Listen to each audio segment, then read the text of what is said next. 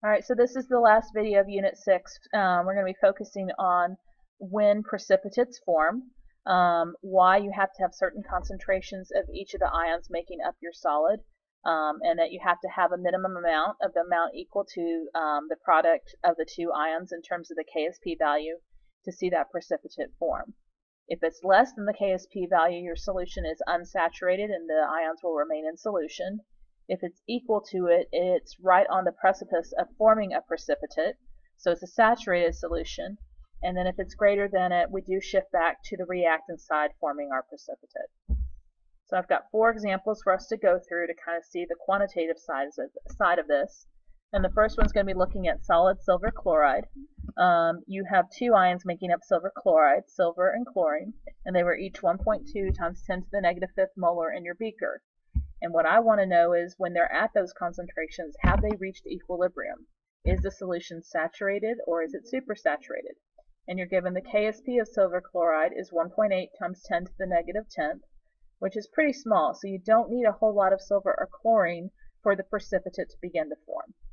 So the first thing I always do in these particular um, problems is write my equation showing the um, ionic solid dissociating into its ions, silver and chlorine and from that I can write my KSP expression, accounting for the fact that solids are not included.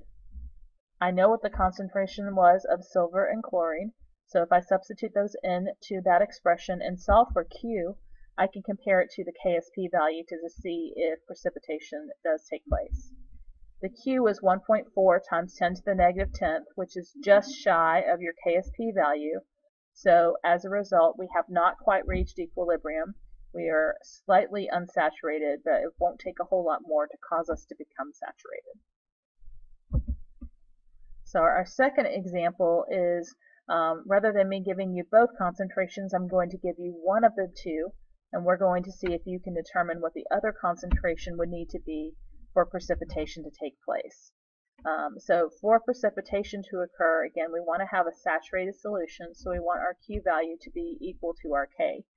Um, we're dealing with barium sulfate, so we're going to take barium sulfate and split it into its ions, Ba2 plus and SO4 minus. Our KSP expression will be those two ions multiplied together. And if we have the KSP value and we have the concentration of the barium, we should be able to determine what the minimum concentration of sulfate ions will need to be added in order for the precipitate to begin to form. Okay, so 1.1 times 10 to the negative 10th was our KSP for barium sulfate. Um, it's a fairly insoluble compound. And you've got your barium, the 0.01 molar, and we can solve for sulfate. And when you go through and do the math, you should get that sulfate's concentration is 1.1 times 10 to the negative 8. So very little sulfate will need to be added to your mixture for precipitation to occur. The second half of the problem, you're given the sulfate concentration and you want to find the barium one.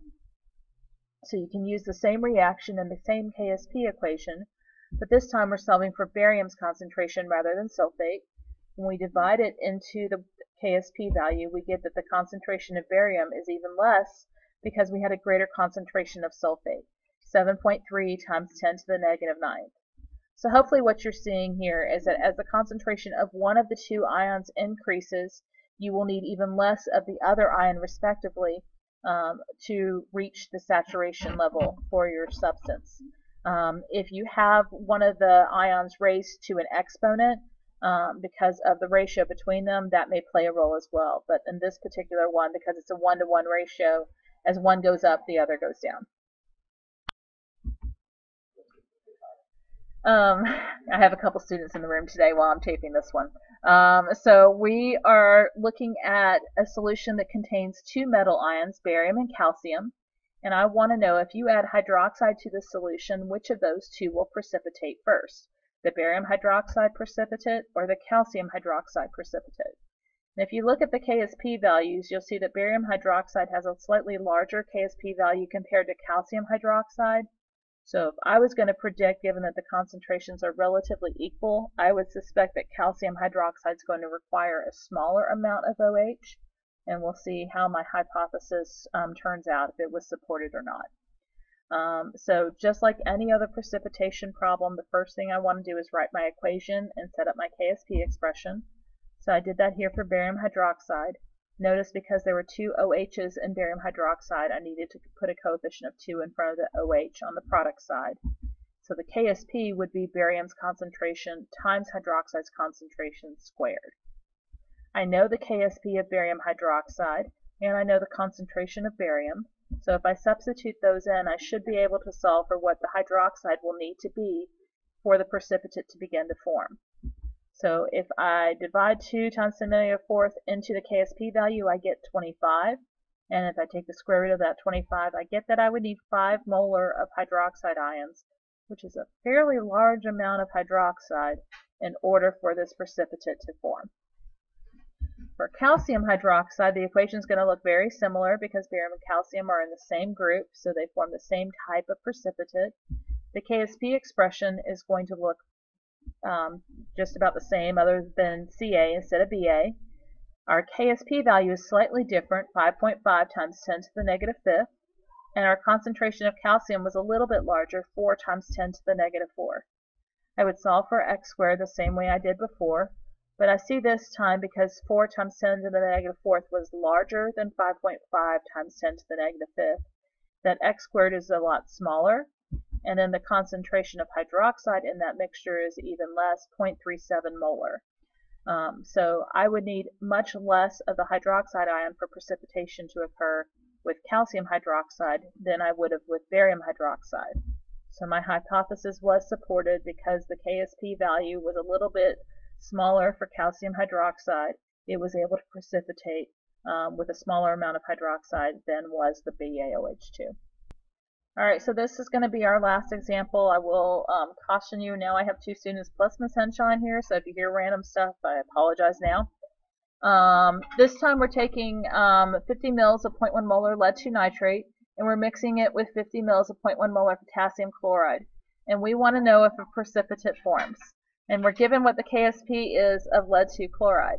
Um, I don't give you a KSP for potassium nitrate because all alkali metals are soluble and all nitrates are soluble, so that one is going to always dissociate. The um, KSP value is going to be greater than 1 like a strong acid um, or a strong base. Um, so we're only going to focus on whether lead and chlorine combine together to make a precipitate. So again, write my equation, write my KSP expression. Um, but before I can determine if a precipitate forms, just like we've had to do in lab, the lead ion and the chloride ion do not stay at 0.1 molar because they were diluted. We took 50 mils of the 0.1 molar lead 2 nitrate and added it to 50 mils of the 0.1 molar potassium chloride. So we need to figure out what their new concentrations are going to be. Um, so that's going to be using M1V1 equals M2V2. So if we take a look at lead, we had 1 PB in PbNO32, so the initial concentration is still going to be 0.1, and we have 50 mils of it. But when we add the two 50 mils together, the new solution volume will be 100 mils. And so solving for M2, we would get that the concentration is reduced to half of the original amount, 0.05 molar. Chlorine, there's one chlorine in KCl, so that's still going to be 0.1 molar. Um, and we have 50 mils of it. The new volume again is 100, so it's going to be just like it was for lead. Its concentration will also be 0.05 molar. I now know what the concentrations are of the lead and chlorine ions, and so I can substitute them into my K expression and solve for Q. I need to square the 0.05 for chlorine, and when I square it and multiply it by 0.05, or basically take 0.05 to the third, I get that the Q is 1.3 times 10 to the negative fourth. That Q is much bigger than your K value by a factor of 10, so a precipitate does indeed form.